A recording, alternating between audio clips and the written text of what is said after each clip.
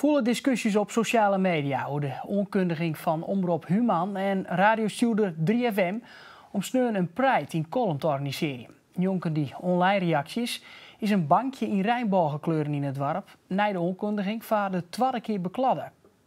Op Instagram zie ik al meerdere reacties ook staan. Dat ik denk van oké, dat is wel ehm, heftig. Uh, zoals oprotten. Uh, flikker op deze zooi hoeven hier niet. In Friesland. Um, ja, donderop uit Friesland. Woke culture. Mentale ziekte promoten. Milan groeide zelfs op in Kolm en had er neer wat vernam van een vijandige sfeer. Dat het bankje jeder dit hier bekladden waard, je de reden om Kolm op te jan voor de Pride in je dorp. Uit één dorp in Friesland kwamen zelfs meerdere aanmeldingen. En daar gaan we nu heen.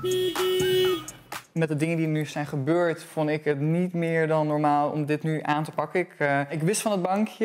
Uh, en nu ook te horen dat het bankje dus weer voor de tweede keer beklad is, is ook wel weer heel erg mooi en heel bijzonder. En nog een extra reden om dit wel allemaal te gaan doen. In Kolm hing je al posters voor de Pride van onkomende sneeuw.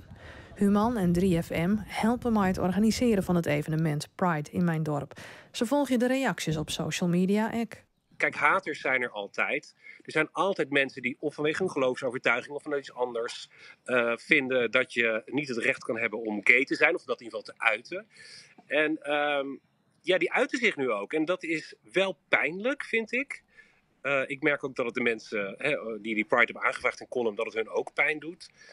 En toch uh, hoort dat erbij, vrees ik.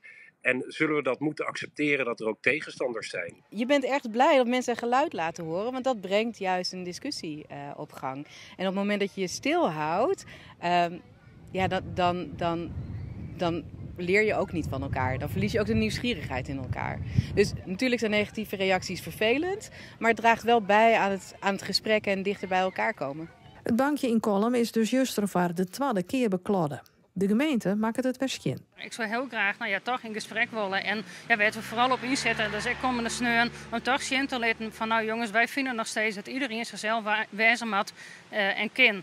En uh, dat is wat we verschrieben willen.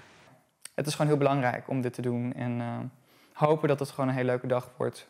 Waar niet te veel romstomp omheen is. Maar ik wil heel graag ook de negatieve, maar ook de positieve kant ervaren natuurlijk. Daar gaat het ook om. Pride, dat is Pride ook.